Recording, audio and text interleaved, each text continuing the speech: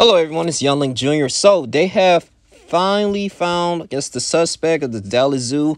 Uh, well, he may have connections into um, the six counts of animal cruelty. Right, he has been charged. Right now, they found the the tamarin monkeys in a Lancaster home, and you know was crazy. Um, before all this happened, he was at the Dallas Zoo. Okay, he was talking to you know spiking up a conversation with one of the employees there, and he was asking specific questions like how to house the monkeys and things of that nature, and you know about the zoos and and it was kind of it was kind of uh, crazy too because what was really was suspicious is that he went to a, a public uh, non-public area you know it wasn't has no access to the public and um he was just looking out windows and things of that nature and then actually found um i think forensic evidence of him uh you know cutting uh cutting one of the um the tamarin monkey's habitat you know cutting the gate a hole through the gate and um, so we don't even know if there's like some type of zoo ring going on. Because I was just thinking about this. It could be something going on in the black market. Like, hey, you know, these monkeys are super expensive. And if I can just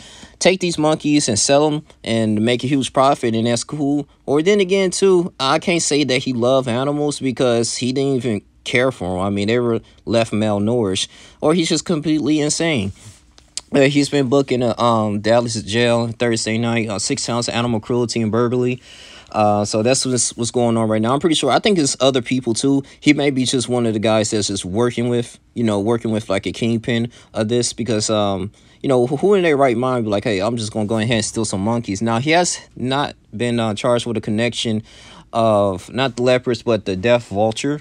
So the deaf vulture. So we don't even know how that came about, but you know, it's just uh, it's just so much things going on, man. I be hearing things about what's going on in the zoo. I'm like, oh, are you serious? So, uh, so this guy, um, he's 24 years of age, uh, Donovan Irvin, Davion Irvin. So that's his name. And um, yeah, man, it's just he's going to have to do some do some crime, do some time now for the crime. So um, I'm just glad that you know uh, the people successfully the investigators successfully uh, retrieved the animals, which is a, a, beautiful thing, man. That's what we need. So uh, we don't need anything else uh, horrible going on. So I'm just glad that everything just worked out for the best, though. So, but yeah, man. I mean, you know, this probably, you know, do us a little bit more security checks. I know they ran the cameras and he was talking to the security police. So I'm pretty sure he just sparked up a good conversation and he just did his devious things.